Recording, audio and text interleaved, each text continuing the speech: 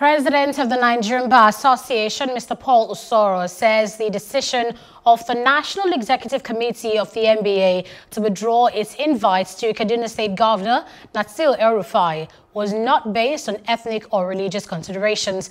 Governor El-Rufai was billed as a guest speaker in the first ever virtual annual general conference of the NBA slated for August 26th to 29th, 2020. The inclusion of El-Rufai among other speakers at the event drew the ire of some members of the association who threatened to boycott the conference if he was not dropped.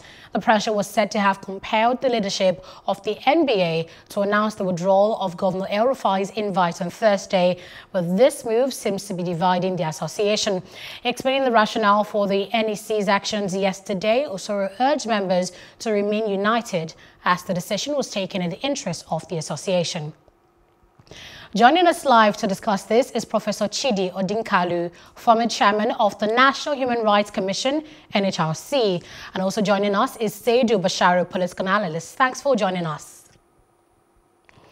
Thanks now, for having me. to Saidu, it's been touted as a shame occurrence. What issues could the on-invitation of the Governor El-Rufai to speak at the NBA event raise? Indeed, um, it is a name and shame uh, occurrence because I feel the leadership of uh, the NBA have failed to own up to this because this, of course, in my own opinion, is what was intended from the onset. Uh, coming back to the question you asked, uh, there's so many outcomes. One is uh, distribute to the office of uh, the governor of Kaduna State and his person. I see problem with the credibility of NBA itself you know, because this action, in my own opinion, was not well thought out. And the consequence is what we're seeing now. The blowback is serious, and we'll be talking about this in uh, the coming days, weeks, and months, maybe. Hmm. Um, uh, Professor Chidi, what precedents does this set when previously invited speakers can be publicly humiliated by esteemed associations such as uh, the NBA? How does it become a problem that a disreputable person is, is you with, it is our meeting, NBA? That's the first thing, okay? If Malam El-Rufai were a lawyer, he would have a right to participate in the meeting because he would be entitled to be there as a lawyer. He just register and be there at the meeting. He isn't a lawyer, and therefore, his participation in any such gathering is a privilege at the disposal exclusively of the organizer. The person can extend, they can withdraw. Now, those who don't like it can decide to invite him to their meeting. They can invite him to their houses. That is a prerogative inherent in the constitutional guarantee of freedom of association. Fundamentally, what is the issue that led, persuaded the NBA? It's very simple. We've got at least three judgments of the High Court in Kaduna State saying that the man persecutes lawyers. It's not just disobedience of court orders, it is that he persecutes lawyers. The latest judgment was issued by Justice Hanatu Balogun of the High Court of Kaduna State last month in the case involving Gloria Ballason against uh, the governor of Kaduna State and the commissioner of police of Kaduna State, where the governor instructed the police to blockade the office of a lawyer who was representing his critics and refuse her access to her law office. Now, if you want to invite people who are persecuting you to come to your house and abuse you, that's your problem. We don't. Now, those who don't who don't like it are entitled not to like it. Okay? That is also inherent in the constitutional right to freedom of expression. And I will defend their right not to like it. But the idea that somehow this is the beginning of the end of Armageddon is nonsensical. Let me just say one more thing. All of these people jumping up now. When the Birnin massacres were taking place, they all kept shtum. Zaria massacre took place, shtum. Igabi massacres took place, shtum. All of the Southern Kaduna massacres, shtum. These are people who are disreputable in themselves because they have no respect for human life. Now, so you tell me, all of this noise did not arise before now on any of the killings that took place in Kaduna and what we are having is noise over don't attend a meeting. How does that even begin to make sense? Mm. Well, Professor Odinkalu, isn't there supposed to be a protocol to issuing these invitations in the first place that ensures that a guest is approved of by a board? Absolutely. Why invite him in the first place? Now, excuse me. Don't come to my meeting does not require any ceremony. It's, it's as simple as that. If he did not, now you see the point. Politicians, these fellows, okay, want us to give them social and professional capital. By the way, don't forget, Governor El Rufai has Radio Kaduna. He has TV in Kaduna State. He has one of the biggest followerships on social media in Nigeria. He's got NTA. He's got FRCN. He's got police and SSS and the soldiers that he uses to abuse people. If he wants to say anything, he can say to all of these people, NBA since 1888 has registered just under 135,000 people. What is all this noise about on, to scale? Can somebody please tell me? Other than he wants the approbation of an organization uh, to give, it his so, give him their social capital. We refuse. It's as simple as that. Okay, um, um, Bashir, could you please react to, to, to, I mean, to this issue? Why do you think he was invited in the first place? I think they wanted, uh, uh, obviously, they must have wanted his opinion on the crisis in Kaduna, and amongst other things. I think uh, the mistake, I do not disagree with Prof, but I think what they should have done was not even invite him in the first place. They should not have invited him. Now, what they have done now is they have missed an opportunity for him to explain his own side of the story. There are things that he may have been doing that they probably would never know. He should have been given the opportunity to share his own side of the story. What they have taken now, what, what they have done rather, is they have taken sides, they have judged him, and he's not the only one. Look at the other people that were invited. These are people that have questionable uh, human rights records, amongst other things but yet they're allowed to, to share to share their own opinion or, or give give uh, give a speech at that conference. Mm. I don't think they were being fair, and in my own opinion, they have missed an opportunity to allow the man to share. Let them confront him and ask him why he he he harassed lawyers or he did all the things that he did. That would have been a good opportunity for them to to express their uh, dis, dis, dis, uh, dissatisfaction with what he had done. But they never gave him that opportunity. Hmm. They invited him and eventually just turned him down. I mean, just imagine that it wasn't even the governor, whoever it is. You are invited, and then suddenly you hear that, oh, sorry, you're not, you're no longer invited. You'll not be happy about things. How I think about the original intention response? was to embarrass him and embarrass that institution. And that they should be bold to come out and say that it, that is what it is. NBA is a pressure, pressure uh, organization and they want to make a statement. Stick by that. Don't go around talking about numbers and things like that. Tell us that, look, you need to make a, a statement. We're not happy with you. And that's the reason why we did this. Hmm. How it about El response opinion, to this? And it's a missed opportunity. Hmm. So would you say the NBA ha has taken sides or does it come across this way?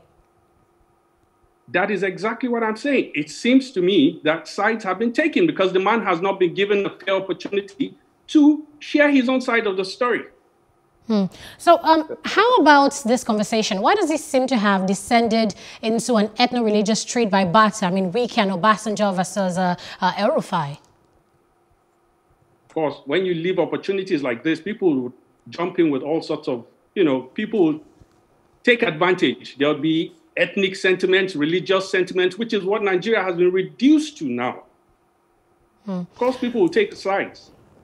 Uh, Professor Odinkalu, you've tweeted words to the effect that the governor does not deserve a fair hearing since he's artificially tipped the scales in his favor by influencing media outlets. So what would you then say that the NBA's response is a just one? Look, let me tell you my own personal story, okay? So that I'll, we get rid of this thing about, uh, you know, Saidu's point about fair hearing. Number one, El Rufai said that nobody can challenge him. And because if you challenge him, that look at who are the people that challenged him. He said uh, President Yar'Adua challenged him, he's in the grave. And President Jonathan challenged him, he's in Otuoke. Now, we are poor lawyers. If the man can kill a president, and send another president to Otuoke. Why do you want me to go and challenge him? Are, are you okay?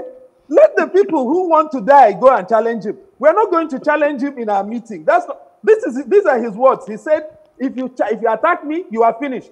He finished Yar'Adua into the grave. He finished Jonathan into Otuoke. Are you going to challenge him, madam? That's number one. Number two, I tried. On the 15th of February last year, El Rufai went on television to say that 66 Fulanis had been killed in an Adara community in Kajuru.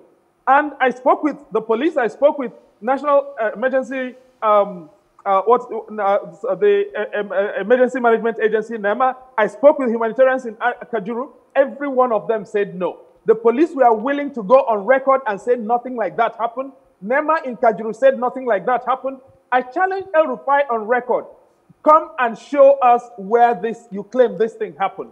What and this was the day he made this statement the day before the scheduled presidential election. Okay? Which was what did he do? The man went and got an order from a magistrate in Kaduna in a case without a case number to abduct me. All right? I'm not the first lawyer that the man tried to abduct. He abducted um, what uh, Audu Maikori from Lagos because Audu disagreed with him. He tried to abduct Gloria Ballason from Kaduna. He has abducted Stephen Kefferson from, uh, from Port Harcourt. Now, if you are telling me to go and, uh, and challenge a man who likes abducting, and by the way, Dadiyata was abducted from Barnawa in Kaduna and is still missing. And El Rufai's son, Bashir, went on, uh, on Twitter on the 24th, on the 19th of December last year to gloat over the disappearance of Dadiyata. Daddy Yatta has not been found over one year later. Why would anybody in their correct senses go and say anything about him? By the way, another of El, El Rufai's sons, Bello, told a, a, man who criticized his father on Twitter that he was going to arrange the gang rape of his mother. Are you okay? Will you go and criticize that kind of person? Hmm. Turning now to Mr. Basharu, surely we want a situation where our leaders feel our pain and are attentive to our concerns. So from that point of view, could you say the NBA's response is an effective one? I would not say it is an effective. It's not been effective because we can see the pushback. It's taken ethnic and religious dimension which has missed the intent. The original intention was to make a point, to let the governor know that, you know, this association is not happy with what he's doing and the way he's been handling the situation in Kaduna. But look at how it has panned out. You know, they would have given him the opportunity to come there and you know lambast him in that crowd i think that would have been the best opportunity rather than allowing that look at what has happened now the organization nba today has lost a lot of credibility, in my own opinion, because people are now using using all sorts of they're they're using tribal. You can see the lines is taken. Different groups from different regions saying that oh no, it's because he's a Muslim, it's because it's this and that, you know. And this is, I believe, was not the original intention. So an opportunity has been missed by not allowing him, you know, to come and share his own side of the story and allowing whoever has grounds with him. I I'm, I'm very sorry about what happened to you, Prof you know, I, I, I, can, I'm not here, I don't have any relationship with the El Rufai, but I just think it's a missed opportunity that the NBA would have had if they had allowed him to have that day and, you know, allowed all the lawyers to ask whatever it is they have against. Hmm. But Saidu, are you going to give me a balaclava to ask him a question? I'm, I'm giving you names, places, dates of people who have tried to criticize El Rufai and his family and what has happened to them. And you're telling me, continue asking him questions. Yar'Adua is dead. Jonathan is in Otuoke. I am facing imprisonment. Uh, uh, Audu Maikori was abducted. Stephen Kefferson abducted, detained for five months. Uh, uh, Gloria Ballason has got three judgments and she is living under a court order. These are human beings who try to, to criticize El Rufai. Why should another person do so? You're not answering that question, sir. No, do you have any response to that, uh, Bashar, before we go on? I, well, I cannot take, I can tell you, but I don't uh, want to believe that anybody that criticizes El Rufai would disappear. Oh, because I know another bishop, have... a bishop who, who told him he will not be Nigeria's president has been charged with criminal intimidation of El Rufai, right? All right, all right. Uh, thank you, thank you so much uh, for your thoughts right now. But before we go, I would like to ask you what you think is the way forward, Professor Odinkalu. I'm sorry, disreputable people like this should not be accorded social capital. If he wants to be invited, let Boko Haram invite him. He can go and address them, and he can go and tell him, tell them whatever he wants. That is Bro. fine. But those people who continue to accord people like this social capital are destroying the country. The man belongs to his place. Let him fix Kaduna. When he fixes it and stops toxifying the country, he can come into civilized audiences. Hmm. And how about you, Mr. Bashiru? What do you think is the way forward from here? Yes, I, I think we should, um, this should be a lesson for us. What I think the NBA should have done is constitute themselves into, you know, forming pressure groups where the kind of leaders you expect would emerge. Today, these are our leaders. You understand? And it's whatever we refer to them that the rest of the world would use to assess us today. We call ourselves all sorts of names and will not get respect globally if we address our leaders this way. If you want better leaders, then make sure that you you you empower, you advocate for people who you think would give would take us to where, where, where you'd want us to. But the leaders we have today are the ones we have, and we have to treat them as such. Mm. Chidi Odinkalu, Professor Chidi Odinkalu, as well as uh, uh, Saidu Basharu, thank you so much for sharing your thoughts on this issue with us. Thanks a Thank lot, Saidu, and thanks a lot.